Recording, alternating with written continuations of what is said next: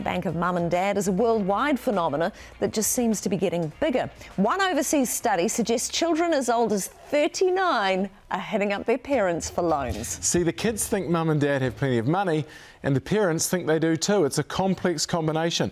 And as Tim Wilson reports, it's happening here. The definition of a kid seems to be changing. No, it's not this anymore, it's this. A new study out of Copenhagen University says that kids as old as 39 are using the bank of mum and dad. In Australia, a report suggests that more than 60% of first time home buyers get some help from parents. In some suburbs of Auckland, it's been as high as 90%. But now the bank of mum and dad is being tapped by the kids for ventures like a new business. What are the dangers? Well, to help us with that, we've got financial advisor Hannah McQueen with us. Good to talk to you, Hannah. Now, what is wrong with lending your kids money? Well, the risk is that you're lending money you don't actually have to someone you're not sure they've got the right strategy with, or you can't afford to lose it. So it can be good, but it comes with a lot of risks. What are the pitfalls parents should look out for, Hannah?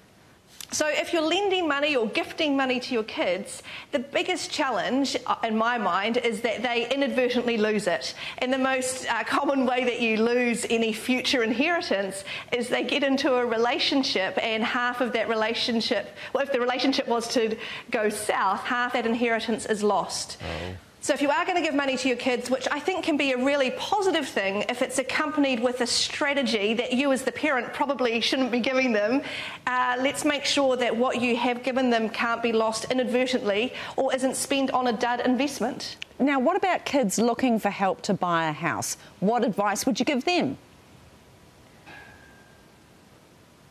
Well, the question we need to ask is Are you, as the parent, in a position to help them? So I'm assuming that your retirement is okay, and if it's not, or you don't know, and most of us don't know, that you have a sense of what is it going to mean for you if you give some of your money in advance to your kids. You could give them the money, and you don't expect that to be repaid. So that's what you call a gift.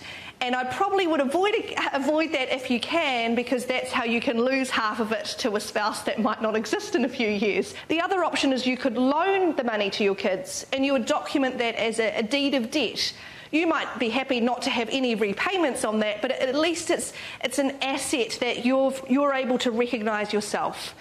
Or you could uh, take a title or, or, a share of the property that they're buying. So if you're giving a 20% interest in that property, the deposit, maybe you could have 20% of the property value. That might be another way to protect your interest. Or it could be that you and your child actually go in together to buy an investment property.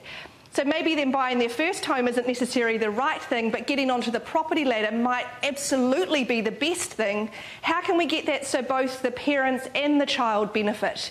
Thank you, Hannah. Some very good advice there. Take care. Thank you.